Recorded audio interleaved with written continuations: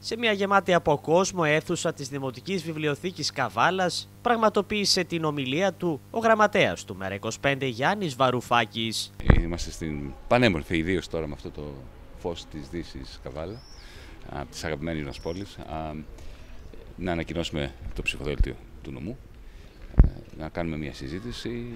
Η προεκλογική αυτή περίοδος είναι, αν και πάντα το λέμε αυτό σε κάθε προεκλογική περίοδο, είναι ιδιαίτερα σημαντική γιατί από τον Αύγουστο του 2018 υπήρξε ένα μεγάλο ψέμα ότι βγήκαμε από τα μνημονία.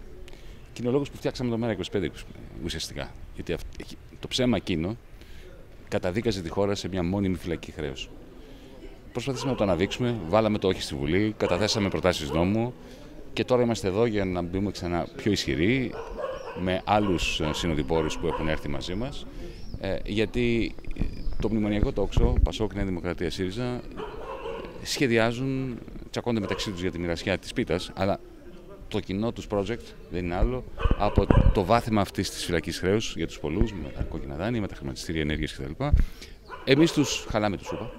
Είναι τιμή μας και καμάρι μας. Ο κύριος Βαρουφάκης είχε τη δυνατότητα να παρουσιάσει το πρόγραμμα Δήμητρα, αλλά και να συνομιλήσει με τους φίλους του κόμματος στη Δημοτική Βιβλιοθήκη Καβάλας. Μιλάνε για το πρόγραμμά μας, μιλάνε για τις προτάσεις μας. Έχουν πάθει παροξισμό με τη Δήμητρα. Αυτό που έχει ενδιαφέρον όμως είναι ότι ο μόνος τρόπος να αντιμετωπίσουν τις προτάσεις μας, τη Δήμητρα, τον Οδυσσέα, τις προτάσεις μας για το χρηματιστήριο ενέργειας, δεν είναι να ασκήσουν κριτική σε αυτά, αλλά να επιδοθούν στη μαύρη προπαγάνδα.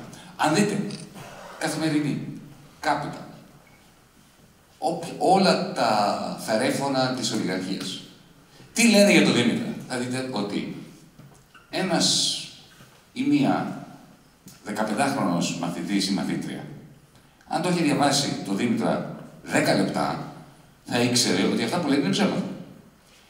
Μπορείς να κάνεις κριτική σε όλες τις πολιτικές. Και στη Δήμητρα και στην Οδυσσέα υπάρχουν κριτικές που μπορείς να κάνεις.